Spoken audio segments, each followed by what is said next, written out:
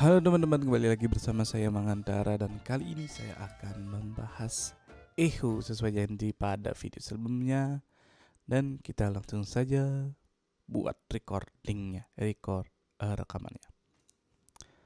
Cek test, cek one test. Nah, di sini sudah saya buatkan contoh audionya. Cek test Jake one test. Nah seperti itu kita langsung cari efek echo-nya. Apa itu echo level delay feedback? Sekarang saya akan tunjukin. Echo level adalah ini. Jake test test. Jake one one test. Nah seperti itu. Kalau dikecilkan, Jake test test Check one one test test seperti itu. Check check test test. Nah kalau ini dibesarkan, nih levelnya dinaikkan, suara echo-nya itu akan semakin besar. Suara echo-nya bukan suara aslinya ya. Check check test. Nah itu mengecil. Check test Selanjutnya delay itu apa? Sekarang kita dengarkan lagi. Check test. Check one test. Check test. Nah.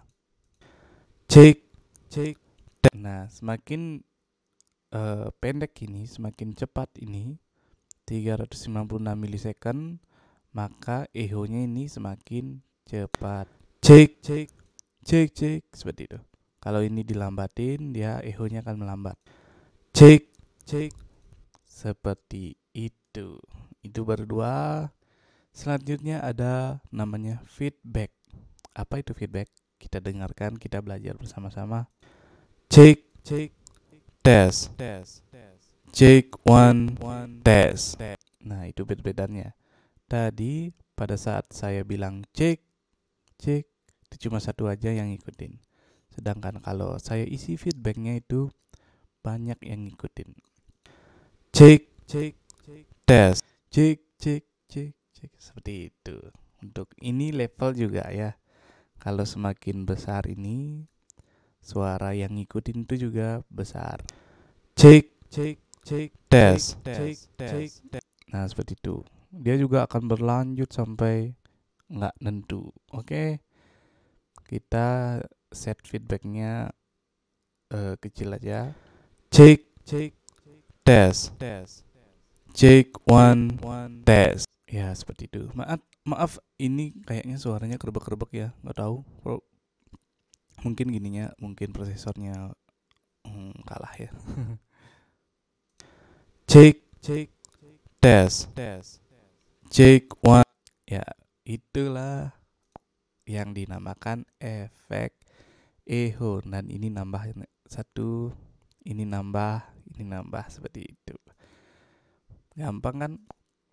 Selanjutnya um, di video selanjutnya saya akan membahas efek yang namanya reverb efek yang paling sering dipakai sama orang-orang. Tentunya di uh, pada saat nyanyi akustikan atau cover lagu ya. Ini yang sering dipakai. Dan segitu saja video kali ini. Uh, apa ya?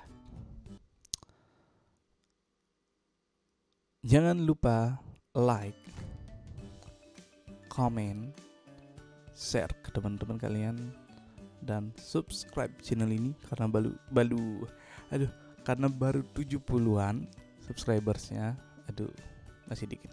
Ya apa apa uh, dan ya lakukan dengan hati. Dadah